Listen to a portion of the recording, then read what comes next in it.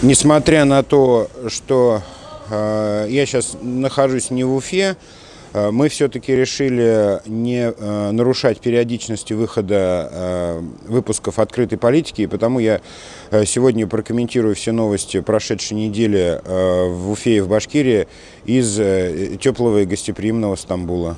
Ну, нажимай, нажимай.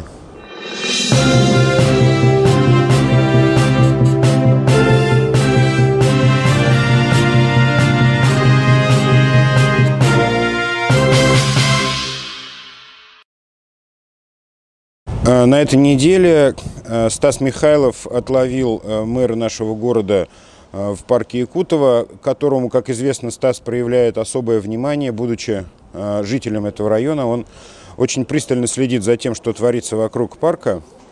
И особенно, конечно, беспокоит вот эта мегаактивность наших э, руководителей города в отношении самого парка как э, прилегающей территории к элитному жилью. И складывается впечатление, что э, все силы города и района брошены на то, чтобы доказать покупателю привлекательность этого коммерческого проекта. Тем не менее, Стас э, значит, изловил Елалова и задал ему один из, на мой взгляд, важнейших вопросов э, современного Башкортостана. А если бы вам предложили стать главой Башкирии, согласились бы? Нет, не согласился. Почему?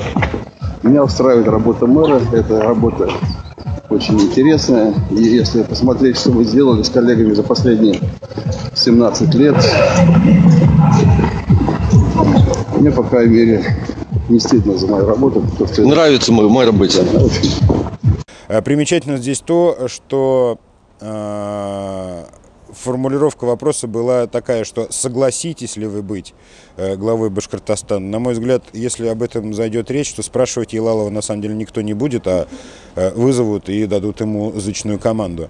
Но, тем не менее, очень симптоматично вот этот его э, демонстративный и публичный отказ. Ну, посмотрим, насколько он э, сможет сдержать это слово.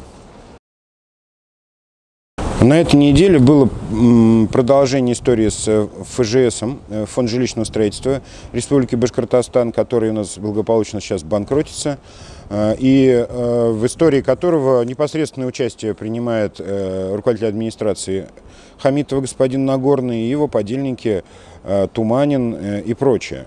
Арбитражный суд на этой неделе отменил сделку о продаже 9 гектаров земли Уфимской в районе э, ТРК «Планета» за символическую сумму в 2500 рублей. Ну вот так вот эта э, группировка значит, пыталась проворачивать свои дела э, в прошлом, полагая, что прикрываясь всевозможными чиновничьими э, должностями вице-премьера, а теперь и руководителя администрации президента, они смогут э, остаться безнаказанными. На самом деле, конечно, это решение, э, если оно будет утверждено и не оспорено э, в судах высшей инстанции, перевернет ситуацию на земельном рынке Уфы э, с э, ног на голову. 9 гектаров, э, одной из самых дорогих земель, э, возвращаются первоначальному владельцу, а значит изменятся и статусы всех э, процессов, которые происходят на этой земле. А мы знаем, что на этих 9 гектарах сейчас интенсивно э, строятся э, жилые дома. Ну, будем смотреть, как будет развиваться. Я думаю, что до Нового года нам будет известно уже, как, в какую сторону разрешилась эта ситуация. На прошедшей неделе прокуратура выдвинула обвинение в адрес двух э, ну, не очень э, сравнимых по масштабу фигур. Из числа чиновников Башкирии это э, бывший, буквально несколько дней назад еще бывший директор МФЦ в Уфе Ильдар Ардаширов и мэр Салавата Фарид Гельманов. Ну, э, что здесь примечательно, э, то, что господин Гельманов, э, это, как всем известно, родственник вице-премьера правительства Магадеева, мужчина весьма странных и подозрительных компетенций, выходец из пожарного ведомства, ну, со всеми, естественно, вытекающими отсюда э, последствиями для интеллекта. В Салавате, я думаю, что был большой праздник этим вечером, когда вышла эта новость, потому что, ну, э, реально этот мэр, конечно, э, был худшим мэром за всю историю этого непростого города. А в отношении господина а, а, Ардаширова, ну, там, видимо, речь идет о прямых хищениях. Если господин Гельманов а, просто наделял свою родню всевозможными благами муниципалитета, это там э, аренда земель, аренда помещений и прочие вещи, которые способствуют процветанию их бизнеса, то в МФЦ, я думаю, что речь шла о банальном воровстве, тут, конечно, все проще. Ну, будем посмотреть. Э, особенно, конечно, забавно было бы посмотреть, как господин Магадеев будет или не будет, значит, отмазывать своего племянника. Ну, вот, я думаю, что в ближайшее время мы увидим развитие этой истории. В Башкирии не э, завершается так еще эта история с расселением ветхого жилья.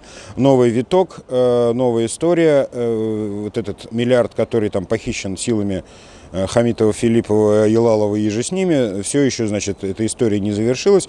На этой неделе было принято решение о том, что правительство республики и бюджет республики вернет в федеральный бюджет средства, выделенные на расселение ветхого жилья Э, в те достославные годы. Э, на, на мой взгляд, эта история, конечно, э, очень печальная, потому что фактически деньги теряются дважды. Сначала их похитили из бюджета который был выделен на расселение ветхого жилья, теперь бюджет республики не досчитается сотен миллиардов рублей, которые можно было бы потратить на полезные вещи.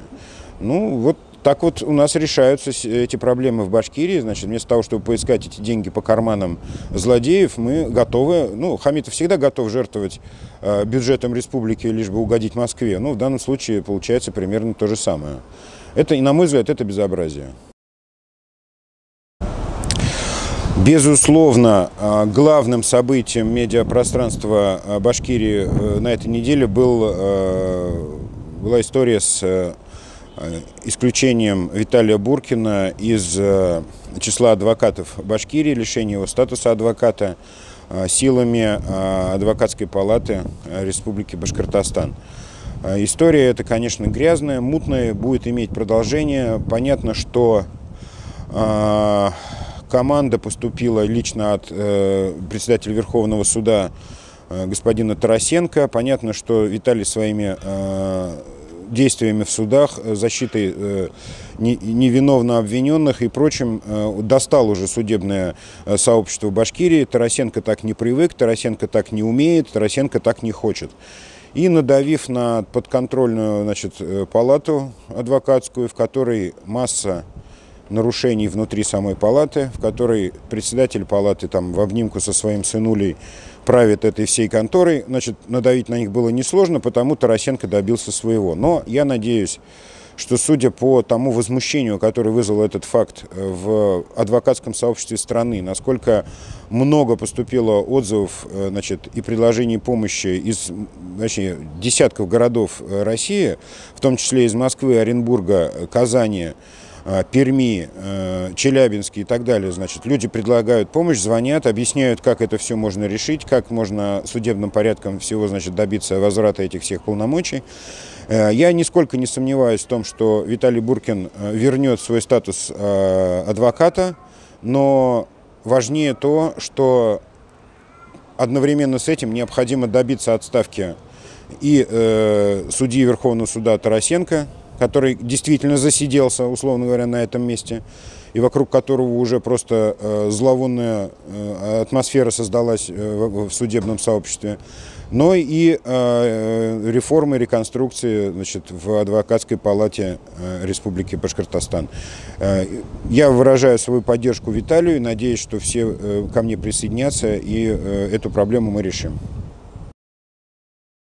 Начало недели ознаменовалось э, комическим для меня э, событием это случился такой небольшой скандал по поводу э, закупки э, мебели для нужд Белого дома. Ну, в общем-то, наверное, в России никого не удивить закупками с завышением цены и так далее, но мне просто было смешно в том смысле, что в далеком 2011-2012 годах подобная же история случилась с знаменитыми хрустальными рюмками Белого дома – ну, в данный, данном случае э, Ренат Шагалин э, попытался э, закупить кресла, стулья и столы для Белого дома с троекратным и более превышением предельно допустимой цены для этих товаров. Ну, я думаю, что закупка будет снята, но важнее то, что подобные попытки продолжаются вот на протяжении всего руководства Хамитовым Белым домом. То есть ничего не меняется, ничего не отменяется, то есть все продолжается. Э, в интернете на этой неделе появился э, аккаунт э, под названием Андрей Носков через А, который активно стал стучаться во все двери интернета, во все группы, во все сообщества и значит, различные объединения в интернете, которые, в которых он развернул активную работу и распространение какой-то совершенно идиотской информации. Я с любопытством наблюдал за этим пару дней. А, пытаясь понять, э, чем вызвана вот такая вот фейковая активность. И очевидно, что этим занимаются конкуренты господина Носкова, нашего печально известного в Уфе э, строителя, который э, без зазрения совести сносит памятники архитектуры, культуры и так далее, лишь бы построить там какую-нибудь многоэтажку. Но я, честно говоря, не понял, кто а, стоит за этими фейковыми историями. И предполагая, что это э, ну, просто тупо конкуренция и наезд со стороны там, нисколько не отличающихся от Носкова его э, значит, товарищей по цеху, я решил не продолжать эту историю и э, постирал отовсюду этого товарища, пускай он живет у себя дома в компьютере и не лезет в наше сообщество.